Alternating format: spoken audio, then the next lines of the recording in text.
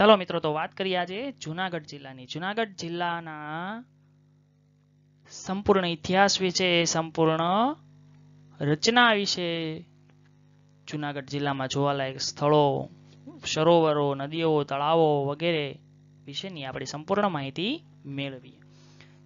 જોઈએ જુનાગઢ જિલ્લો.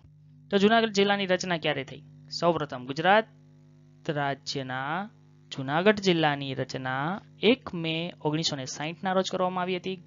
જૂનાગઢ જિલ્લામાં કુલ દસ તાલુકાઓ આવેલા છે. તો આટલું યાદ રાખી લેજો મિત્રો.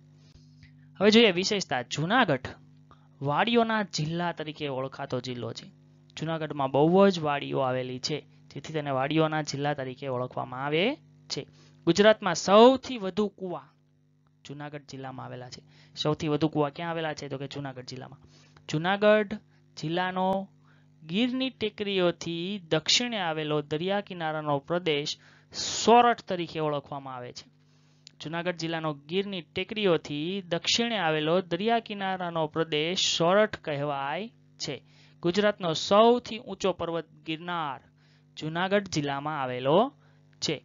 ગિરનાર પર્વત બેસાલ્ટના અગ્નિકૃત ખડકોનો બનેલો છે. ગિરનાર પર્વત શેનો બનેલો છે મિત્રો યાદ રાખી લેજો. ઘણી વખત પ્રશ્ન પૂછાઈ જાય. તો ગિરનાર પર્વત છે બેસાલ્ટના અગ્નિકૃત ખડકોનો બનેલો છે.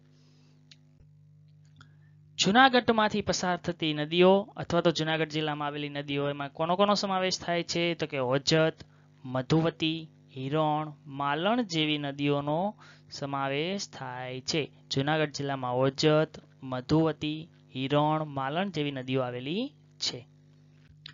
સંગ્રહાલયોની વાત કરીએ તો જુનાગઢ મ્યુઝિયમ સક્કરબાગ એક સંગ્રહાલય છે. દરબાર હોલ મ્યુઝિયમ, દિવાન ચોક એ પણ સંગ્રહાલય જુનાગઢ જિલ્લામાં આવેલું છે. હવે વાત કરીએ સંશોધન કેન્દ્રની તો ફૂડ રિસર્ચ સ્ટેશન માંગરોળ જુનાગઢમાં આવેલું છે. National research centre for groundnut એ પણ સંશોધન કેન્દ્ર છે જે જુનાગઢ જિલ્લામાં આવેલું છે. હવે વાત કરીએ લોકમેળાની તો મહાશિવરાત્રનો ભવનાથનો મેળો ગિરનારમાં જ્યાં ભરાય છે, એવો મોટામાં મોટો મેળો છે. બહુ જ મજા આવી જાય મિત્રો. એક વખત તો જવા જેવું છે.